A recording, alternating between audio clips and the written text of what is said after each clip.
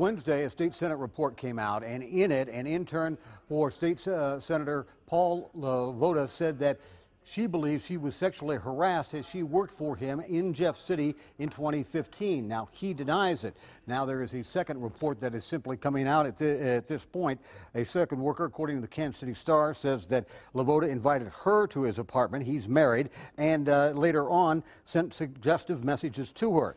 And that led to the Republican leader of the state Senate, Tom Dempsey, to call for the Senate Rules Committee to investigate the Independence Democrat. Dempsey says that the Senate takes protecting the public trust very seriously. LeVota, through his brother, says that he plans to cooperate with that investigation. And then, just moments after that came out, the Missouri's Democratic governor, Jay Nixon, uh, said that he has the uh, thoughts on the LeVota allegations that they are deeply troubling and says he has questions whether or not LeVota can con continue to uh, represent his district. LeVota says that he is denying that he did anything wrong and that he's simply a victim of modern hardball politics.